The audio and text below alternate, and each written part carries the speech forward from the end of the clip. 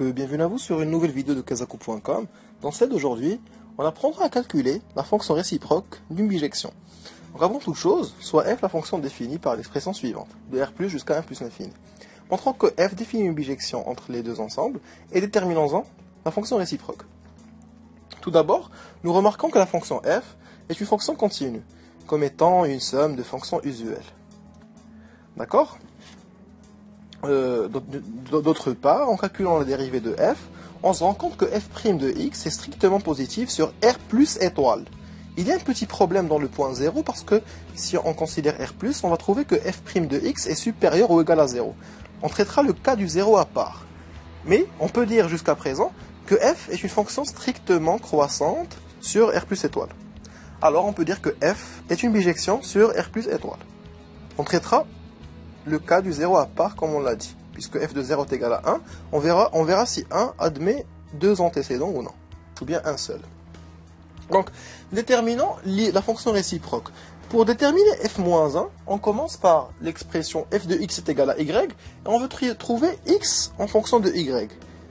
Puisque f-1 ça me donne les antécédents, alors je dois trouver une fonction de, en y.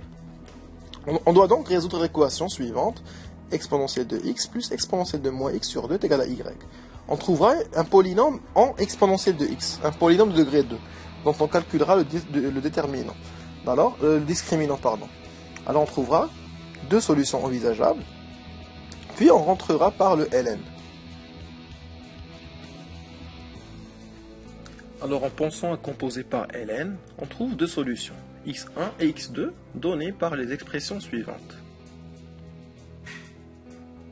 En remémorant le fait que y appartient à 1 plus l'infini ouvert, puisque x appartient à r plus étoile comme on a dit au début, euh, l'intervalle de bijection de f qu'on a pu délimiter, alors on, va, on pourra éliminer une des deux solutions.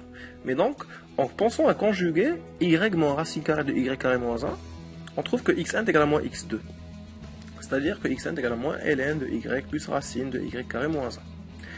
Et donc, euh, puisqu'on travaille maintenant sur l'intervalle ouvert 1 plus l'infini, on peut conclure que x1 est strictement négatif. Alors, il est évident que x1 ne peut être solution à mon équation. Du coup, euh, je vais me souvenir que le problème que j'avais sur R+, se posait dans le cas y est égal à 1. Donc pour le cas y est égal à 1, on voit que x1 est égal à x2 est égal à 0.